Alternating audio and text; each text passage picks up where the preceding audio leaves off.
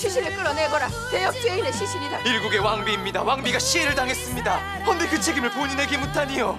찾아내거라. 누가 뭐래도 나의 왕비다. 나 어릴 때 기억이 돌아왔어. 어찌할 거야? 찾아야지. 우리 언니 죽인 범인. 반드시 잡아야 한다. 무용객주라는 곳이 있사옵니다. 저거는 총상 아니냐? 거래했던 총부상까지 죽였어. 왕이 깨어났으니까. 너랑 나 무용객조마저 표적이 되어 있을 거야. 누구요? 의뢰를 하러 왔네.